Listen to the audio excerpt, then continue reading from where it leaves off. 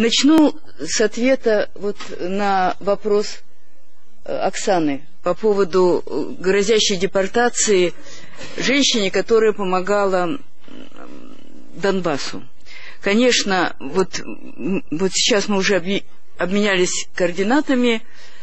Э, Затулин, как депутат, напишет соответствующее обращение в Главное управление по вопросам миграции МВД – и мы свяжемся с э, адвокатом, получим все документы и как-то будем помогать, чтобы этот вопрос разрешился, тем более, что вообще формально, если только, не дай бог, э, не возникла такая бумага из конторы, в которой эта женщина признана значит, э, каким-то человеком, который вредит безопасности страны, то никаких я думаю, что таких серьезных проблем не будет.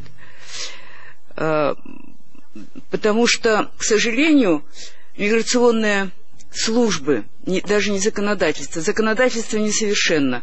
Есть очень много таких пробелов, когда те, кто приезжает даже на, постоянную, на постоянное проживание из постсоветских республик с безвизовыми границами – оказываются в положении, когда через 30 дней, пробыв, э, пробыв 90 дней, 3 месяца, надо выезжать назад в 3, на 3 месяца, а человек, может быть, приехал, и уже как бы у него там ничего не осталось в той стране, откуда он выехал, а он не успел за эти 3 месяца пройти необходимые процедуры для того, чтобы иметь возможность, иметь право находиться в России эти возможности не так просто реализовать, все это как бы известно. И это, это больные вопросы, их надо решать. Вот мы слышали от Константина Федоровича, что э, даже вот сейчас начали уже говорить о том, чтобы для э, тех, кто хочет получить гражданство, прежде всего из той категории, кого Россия признает своими соотечественниками, не требовать от них выхода Э, от, из гражданства страны проживания. При этом, конечно, человека могут возникнуть коллизии, когда он не сможет этим воспользоваться, но, по крайней мере, такого препятствия, э, если такое препятствие будет снято, то слава Богу. А я, честно говоря, приехала к вам как бы поискать сочувствие и пожаловаться. Пожаловаться на проблему. Вот Затулин сказал о, возможно, предстоящей, ну, своеобразной репатриации – когда соотечественникам будет предложено ну, стать гражданами России. Но, к сожалению, в нашей стране идет еще и другой процесс. Я его называю не репатриация, а депатриация. Когда у граждан России, получивших паспорта на законных бланках, в полномочных органах, вдруг этот паспорт отбирают, потому что при очередной проверки, которую имеют право делать правоохранительные органы, обнаружилось, что в их деле по гражданству какие-то упущения. Чего-то нет, не так записано, причем уже установлено еще в, 90, в 2007 году уполномоченным по правам человека в Российской Федерации, что такие упущения есть, и они не связаны с ошибками или с предоставлением каких-то недостоверных данных. Они связаны с тем, что вся эта как бы система только склады, она до сих пор только складывается. Ошибки в базах данных, при переводе этих баз с, из журналов разных ведомств в электронные. Это все известно. И тем не менее, виновным становится человек, у него изымают паспорт, а паспорт, являясь удостоверением личности, он является и удостоверением гражданства Российской Федерации. И вот в прошлом году э, до суда ЕС, ЕСПЧ дошли два гражданина России, которых вот таким образом лишили паспортов. Они шли туда не, не, ну, не скоро, это прошло несколько лет. За эти годы они получили вновь российское гражданство по другим основаниям, но все-таки суд ЕСПЧ рассмотрел эти жалобы и присудил России штраф, поскольку вот такое лишение паспорта, безвинное лишение паспорта, является вторжением в личную, в частную жизнь человека, нарушение э, статьи 8 Конвенции по правам Европейской конвенции по правам человека.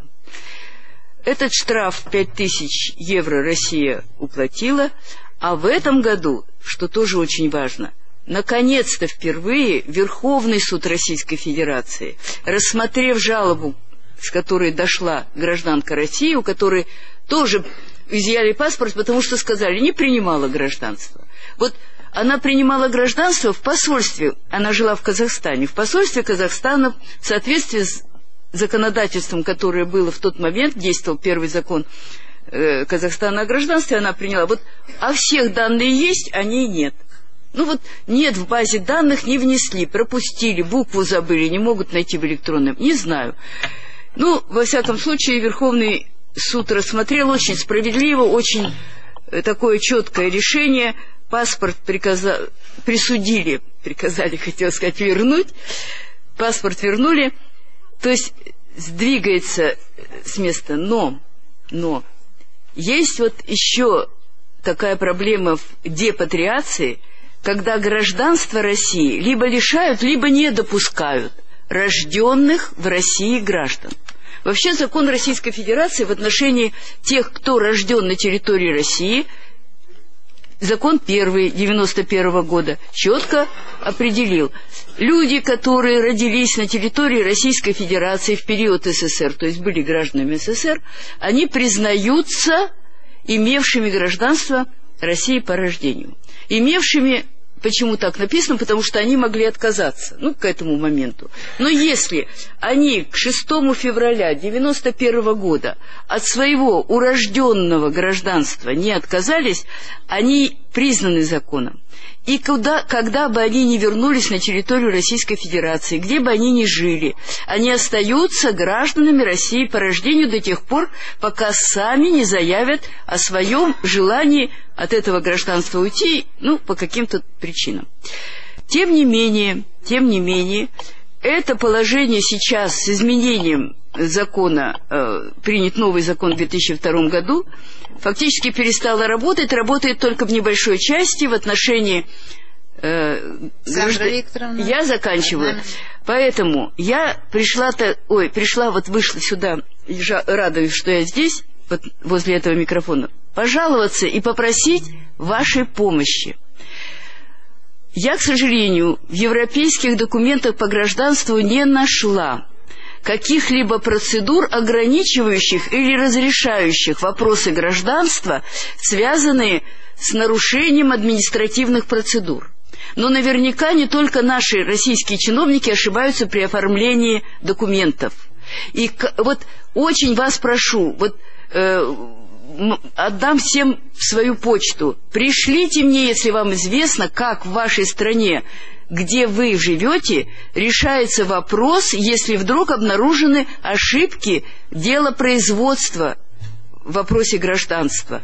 Потому что ну, пробивать наших чиновников, ну, вы знаете, в России как бы очень важно, когда есть, когда есть зарубежный опыт. Ну, ребята так везде делают. Я вас прошу, помогите мне, спасибо большое.